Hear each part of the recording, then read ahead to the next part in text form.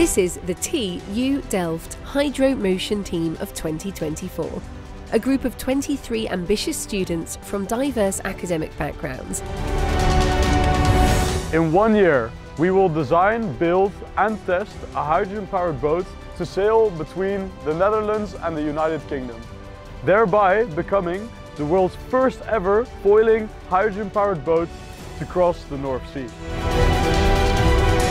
As a team, they mould the future of sustainable engineering and create a legacy of lasting impact.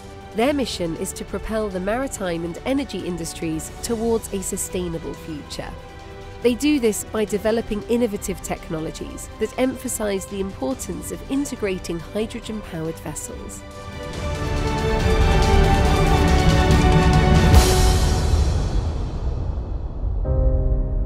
Only 11 months ago we began our year without any experience in designing or building a hydrogen powered boat. But we needed only one thing. The will and dedication to just do it. We have designed. We have built. We have tested. We have crossed the waves of the North Sea and successfully reached our scope. We became one team with one common goal. But how did we get there? How did we get from nothing at all to a foiling hydrogen-powered boat within just one year? We started our year with getting to know each other really well and our strengths and weaknesses. And then we analyzed previous years and their designs. And we quickly came up with a great scope to cross the North Sea from the Netherlands to the United Kingdom.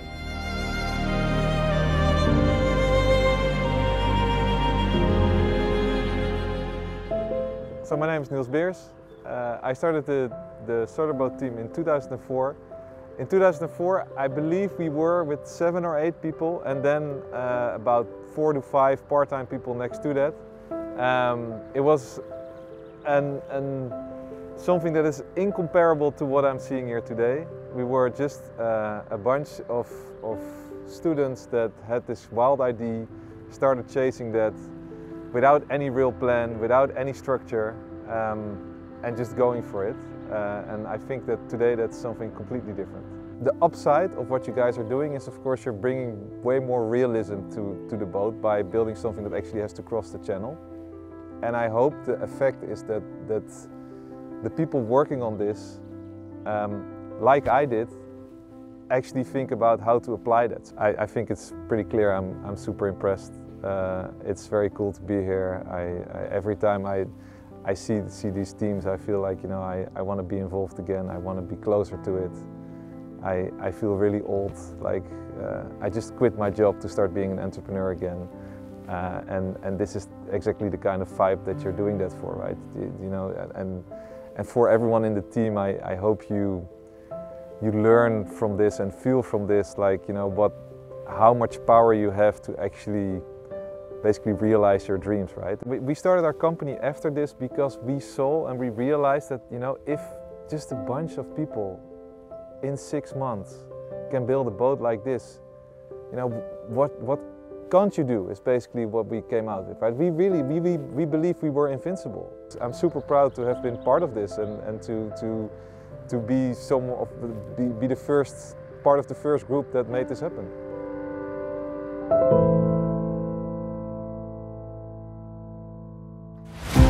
After determining our scope, we moved on to the design phase, where we looked into various different options for each part of the boat. All options are designed and calculated to fit together properly in one model. This was later checked by one final digital model.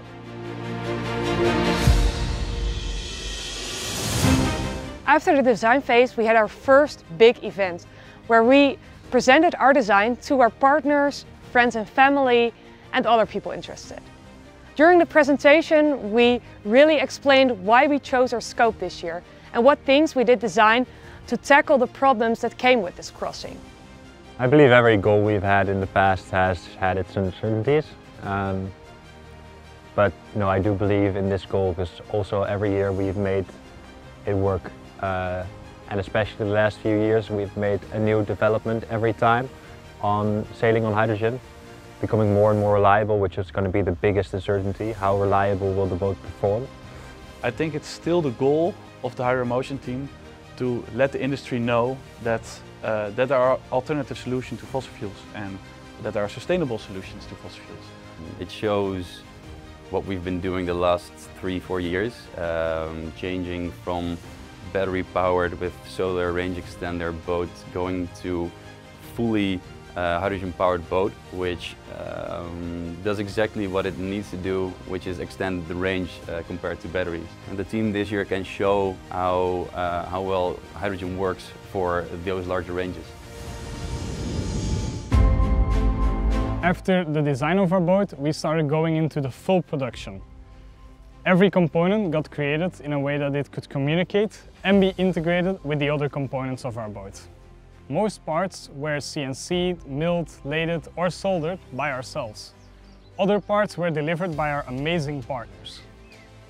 A big part of our boat is the hull, produced at Contest in Medemblik. Weeks of preparing the mold, laying carbon and ultimately vacuum infusion resulted in a shiny 8 meter long hull.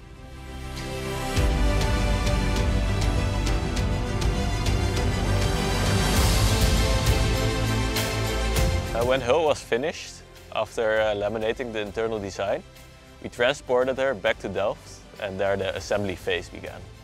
We integrated all the parts and subsystems into the boat.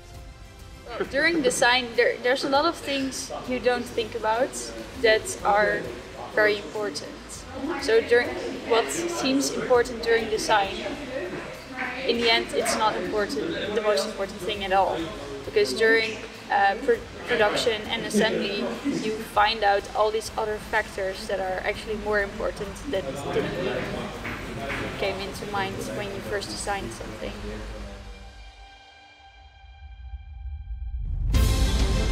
And then the long days of testing began.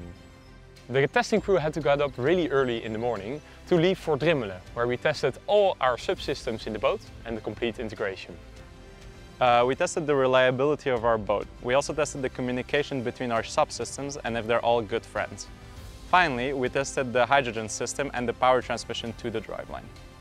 When the boat was fully tested on floating, leaks and electronic systems in the water, one of our first milestones during testing occurred.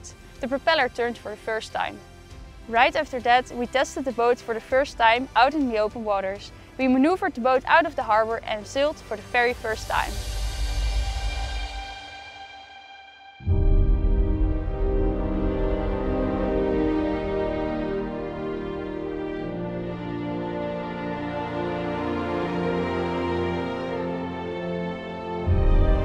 And so she did.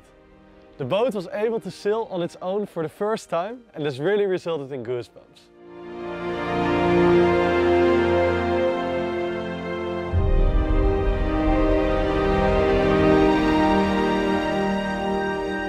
When all these subsystems were functioning on the hydrogen system, it was time to move on to the next step for our boat, foiling.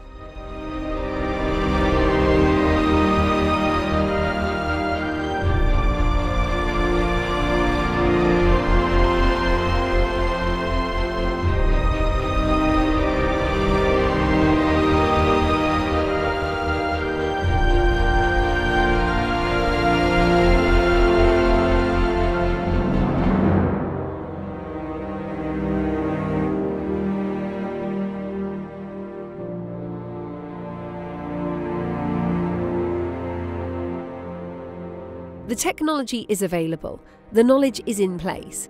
Now, it's time to implement these solutions for the benefit of all.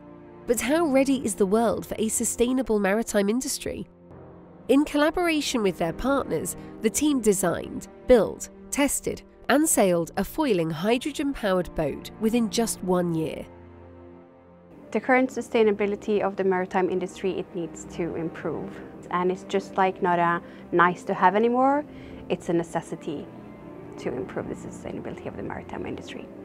We invite all the parties that think they can contribute to the uh, development of uh, zero emission systems and future ships to work together. And actually, um, it starts to work because all the parties they understand that no one can do it by itself.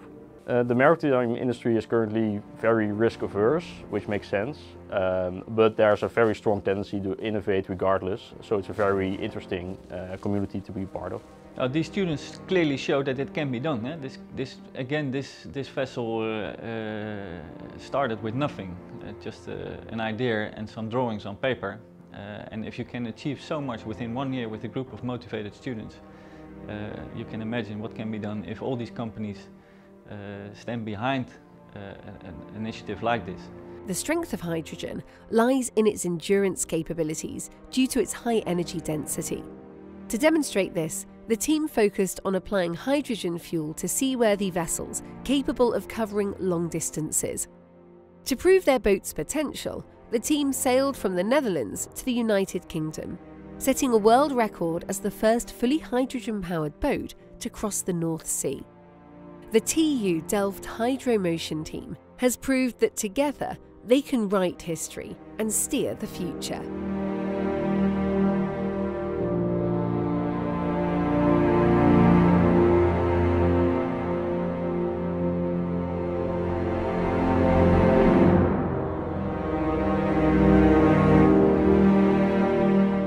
Have become the first ever fully hydrogen powered boat to cross the North Sea. Together, we can write history and steer the future.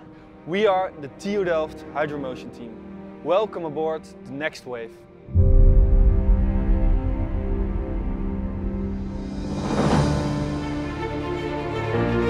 Last year wasn't only about the technical aspects of the boat, but we also grew together as a family. We now know each other very well and we know that we can rely on each other, no matter what. even in a year, even in a small moment, period of time, change is possible. You can reach so much uh, with a not even that big a group, but with motivated people that really uh, are doing what they want to do and are really motivated. I also think it was very ambitious, yeah. but we have a team with a very high spirit and I think we can do it. And to actually make it come true, to get this small uh, image from your screen and turn it into an eight meter boat. Uh, that was really fun. And to see how much work everyone puts into it to, uh, to make it work, to make it reliable. When you start this year, you have no idea what you're getting into. Yeah, that's kind of the thing. There's not really uh, like, you, you, don't have that well of an expectation of what you're yeah. getting into. So it's kind of, yeah, everything could happen. Well, I think sometimes you just have to do it. Something you don't have to think about it all too long, go into all the details you have to just do it and then the rest comes after. With such a project you you build like a boat from scratch. Who who does that? Like it's really you have to be bold, you have to ask for it and, and then work hard for it and I think that's something I'm gonna take with me I think in the beginning of the year, we were so confident and we were like, oh, this is going to be so easy. Why wouldn't we be able to? And then slowly it was more like, oh, okay, this is actually quite difficult. So many things that were not expected broke and uh, I mean, you start losing confidence. I think if everybody had that at some point this year, that maybe it wasn't for yourself, you were doing something for another, but it's people you care about, so you still want to do it. Yeah. yeah, people felt responsible for each other as well. It wasn't just your own work, it's everybody's work. Yeah, you just start out totally underestimating your scope and then like suddenly it becomes more and more realistic and you're like, damn, this is gonna be extremely hard. But I also had no, no imagination of like how much you would learn and they always say you're gonna become a high performing team, but what is like a high performing team? And, and now you're here and you're like, yeah, I know it, we, we are. Yeah, I feel like this team was really, really good with some really, uh, really special, nice people. So uh, you all need to know that. uh, and uh, yeah, hopefully we all uh, continue to do very special things uh, in the future. Dare to dream really big and make it happen, work hard for it. I think we started off on something really ambitious and then we were at like a point where we didn't, we thought that like the North Sea was like this, this flat, flat sea with no waves. you talk to so many people about going on the North Sea and everyone, everybody says, be aware of the waves. Yeah. And so with that expectation we went there and we're like, whoa, these are big, these are rough waves. Yeah. And also 90% of the people that were watching the boat in Drimmelen um, said that when we were telling uh, we are going to cross the North Sea, they were like, with that boat? That's not Good luck. yeah, good luck. Yeah, it's probably once in a lifetime. Yeah, but And- I think also about showing the world It's like possible. the innovation capabilities that you can do by just getting a lot of people together, a lot of Yeah. companies, and doing something that normally is not possible. Yeah. You roll up your sleeves, you go back to work, you figure out a way around it. That's also a skill I think a lot of us learned. Yeah, just stop bitching and do it, or do it and continue bitching, but just do it. Yeah, success. Like there's a, if there's a problem, uh, you don't know how to solve it, but you don't know how to solve it yet. Uh, there's, you find a way, you find a way around it. Yeah. Get Creative. Yeah. I think this is the one time in your life where you really have the opportunity yourself to choose to make something that's completely pioneering and uh, you just get to do what you want to do. Like the things we achieved together is like I wouldn't imagine that we have this result at the beginning of the year. Yeah. Like all the people here in Ramsgate coming to us, knowing about our project and uh, knew that we were coming before we even arrived here. They were tracking us on their live blog and they want to know all about it and they're just locals here from Ramsgate. It's really insane that we can reach such a wide audience oh. and actually have impact, make the impact. Yeah, that's why we're innovating. But what people don't see is that with that we're so cohesive and working together. And what, what I really like about that as well is like you have all those different people. Like you can't do it with one type of people. You have to do all sorts of the wide range of kind of people. And then you have a really good team where all different functionalities of, of a team come together. And that is also really nice to see. You cannot control everything, so you need to trust them to, that they that they will, will do it. And yeah, I think that's the most important thing I learned. Do you trust your teammates? Yeah. of course, of course. Okay, good. You, you have been sailing for, for like six, seven, eight hours with nothing to see around you, and then suddenly there's this, this little hump of land you start seeing. Uh, and then the lights, uh, or the, the, it becomes darker, and you see the lighthouse flashing, and like that, that moment is like, oh yes, we're almost there, we're almost there. Uh, we were with the land crew and we were just barely in time to watch the sea crew enter the harbor of Ramsgate. Uh, we were running on the, uh, in the harbor just, just to, to witness the moment. And uh, yeah, that last, that last uh, energy boost was, uh, was amazing. Sure. We ran down this Yeah. dock. I was sprinting and the boat just arrived in front of us. It was a beautiful moment. It was, uh, I think, one of the best moments of the year. Uh, when, when they docked in the harbour, getting together on a hug, celebrate, pop the champagne, it was really nice. Yeah. I think everyone did an amazing job. I wouldn't have wanted to do this with anyone else. I, yeah, really happy. I think we got really, really lucky with uh, the team we have.